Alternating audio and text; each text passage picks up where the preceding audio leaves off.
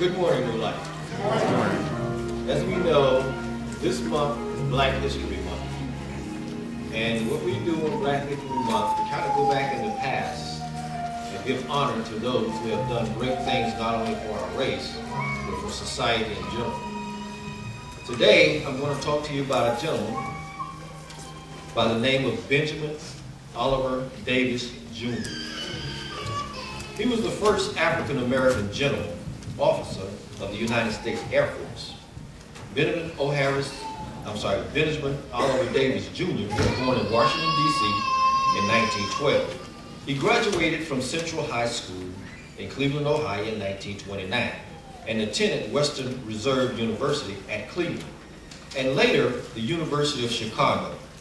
Now, he entered the United States Military Academy at West Point in July 1932. As a result of a deliberate isolation and segregation, the entire four years of his academy term, General Davis was shunned by his classmates. He never had a roommate. He ate by himself. And his classmates hoped this would drive him out of the academy. However, the silent treatment had the opposite effect on him. It made General Davis more determined to graduate. At the start of his senior year at West Point, General Davis applied for the United States Army Air Corps. However, his application was rejected because they did not accept African Americans in the institution. General Davis continued on and he graduated from West Point in 1936. He was the 35th candidate in his class of 278 graduated. Upon graduation from West Point, General Davis was assigned to the all-black 24th Infantry Regiment, one of the original Buffalo Soldier units at Fort Benning, Georgia.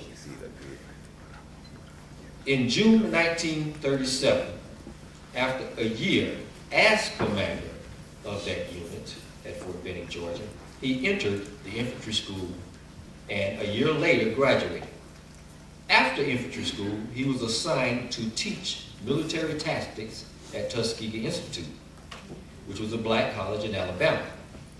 Now, this was a way the Army used to avoid having an African American officer in a segregated and racial society in command of white officers or soldiers. In 1942, President Roosevelt and his administration, in response to public pressure for a greater number of African Americans to participate in the military as war approached, he ordered the War Department to create a black flying unit. This was done to determine whether African Americans had the capability to learn to fly. General Davis was assigned to the first training class at Tuskegee Army Airfield, hence then named Tuskegee Air. In March 1942, General Davis earned his pilot wings as one of the first of the flying black officers to complete the course. He was the first black officer to solo in Army Air Corps aircraft and the first officer to get his wings from Tuskegee Air, I mean, from Tuskegee Army Airfield in March 14, 1942. General Davis was transferred to the Army Air Corps in May 1942. Now, as the commander of the 99th Fighter Squadron at Tuskegee Army Air Base, he and his unit was moved to North Africa and later to Sicily. Now, during his tenure as commander of the 99th Fighter Squadron, his unit escorted over 300 bomber escort missions and never lost an aircraft on his escort. He returned to the United States in October 1943 and assumed command of the 332nd Fighter Group at Seferill, Michigan. Now, General Davis, of course, throughout his career, accomplished many tasks. Those tasks in which was a challenge, not only for himself, but for his culture as well. In the end, General Davis was assigned as Deputy Commander-in-Chief of the United States Strike Command with headquarters at MacDill Air Force Base, Florida, in August 1968 with additional duty as Commander-in-Chief of the Middle East, Southern Asia, and Africa regions. This military, I'm sorry, on December 9th, 1998, Benjamin O. Harris Davis Jr.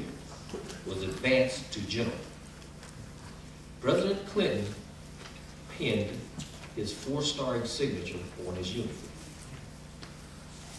His military decorations included the Air Force Distinguished Service Medal, Army Distinguished Service Medal, the Silver Star, Legion of Merit with two oak leaf clovers, the Distinguished Flying Cross, Air Medal with four oak leaf clovers, Army Commendation Medal and two oak leaf clusters, and the Philippine Legion of Honor.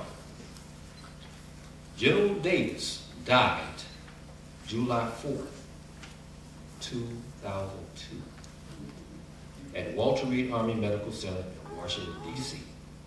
He was buried at Arlington National Cemetery. In honor of his duties and segments in the military and his contribution to this country, as well as a minority group, ourselves. At Arlington Cemetery, a red-tailed P-51 Mustang, which was the fighter plane that was used in Tuskegee to train the Tuskegee Airmen, better known as the Railtail Bombers, those who were armed for their missions in the war, flew over his services, overhead, as a memorial for one of the first African-American Air Force gentlemen, one of the first Tuskegee Airmen, and the red tail fighter.